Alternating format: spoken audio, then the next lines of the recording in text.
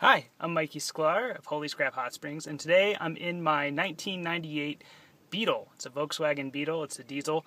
Um, we've had it for several years, and it's about 15 years old at this point. And um, we've had two problems with it. One is the fuel gauge is going to empty sometimes when we drive, so it still has plenty of fuel, but it's not reading right. And the other problem is it's not picking up enough on some hills. So rather than try to figure out exactly why, I'm going to go with one of the more common problems with this model, and that is to replace the fuel sender unit. So it's got a new little resistance reader for the fuel bobber, and um, let me show you how you get into the car and replace this part. So I just lifted up the back seat of the Beetle, and uh, underneath we have our fuel tank and you can see the top of the old sender unit here. And if you look carefully I don't know how clear that is but there's a part number. And the old part number is 1J0919183C but anyone who's running bio and other heavier fuels tends to use the Canadian part as a replacement. So I just bought that and it ends in an H. So instead of a C it's an H. And this seems to be pretty popular in the biodiesel forums and some of the YouTube videos. So I'm going to go with what they're doing. So um, I wiped down the fuel tank a little bit. I had pulled out this uh, metal plate prior to that. It just had three screws, Phillips head. That's all I needed. And uh, we got clips. So uh, this is labeled, this blue one, as a return. This is the send to the sending the fuel to the vehicle, and um, we got a little electric connection, and we got a big, giant rubberized screw gasket. So I'm going to kind of disconnect all that and drop in the new unit, and we'll see how it goes. Okay, I went ahead and uh, pulled each of the fuel connectors off using their little buttons and went ahead and pried up this little plastic thing just a little bit and this came right off and that's our electrical connection. Now we can start to remove the entire unit.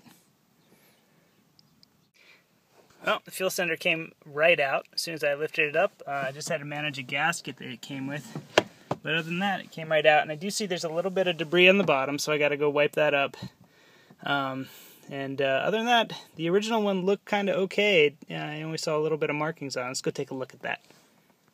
So here's the original fuel sender from the vehicle.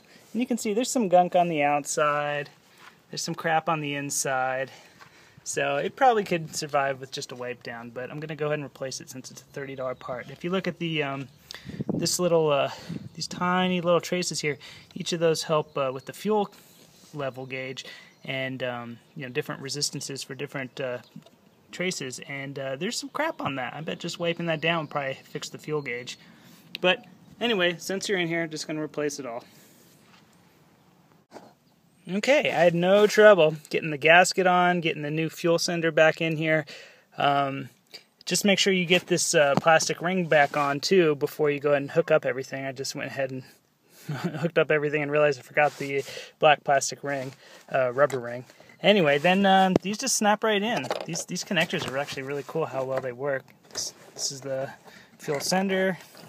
This you just get this great click noise like that when it locks in. This is the return line, the blue one. And then here's your electrical, the two pair. It's keyed, so you can only go on one way. You don't have to worry about uh, messing that up. That's it. Now we're should be good to go. Let's hope it starts, huh? All right, I'm in the driver's seat now. I got the uh, sender in. It went really smoothly. I don't think it even took me 20 minutes to do it. Uh, I want to show you the car starting up and we can see uh, if the fuel gauge works. So, all right, here's the front dash here. I'll go ahead and uh, turn on the ignition. Oh, here's the key.